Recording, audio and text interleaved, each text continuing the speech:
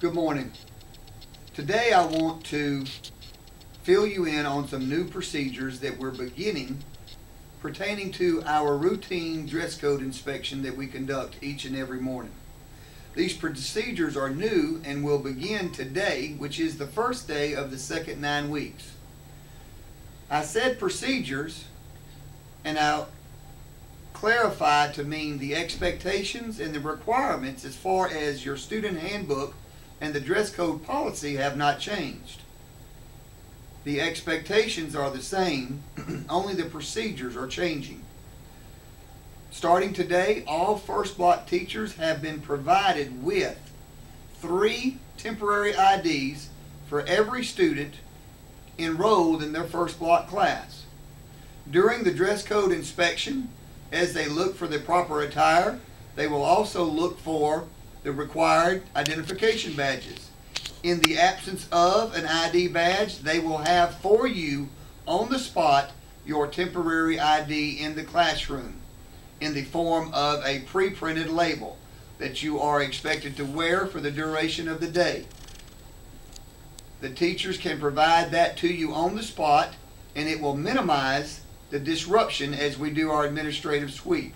Those temporary IDs will cost a dollar and each temporary ID that is used will result in a dollar fee being added to your student account.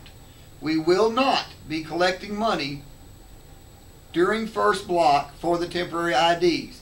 It will be your responsibility to purchase, to pay for your fees in the front office.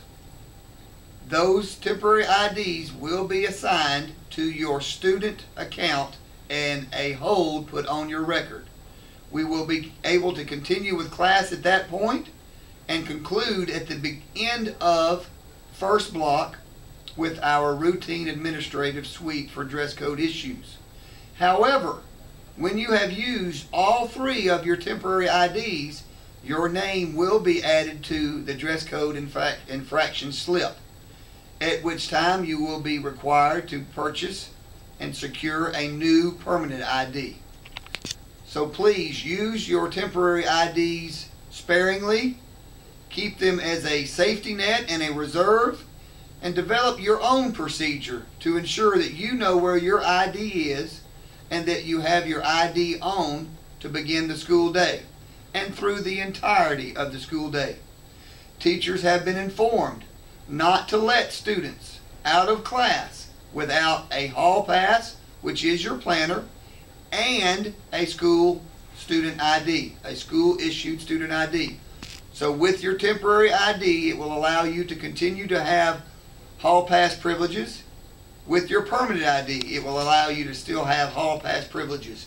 Without it, teachers have been required to not approve hall passes without a planner and a student ID. So please work to improve your procedures as we continue to improve the efficiencies of our procedures in regards to student ID badges. Thank you. Okay, I'm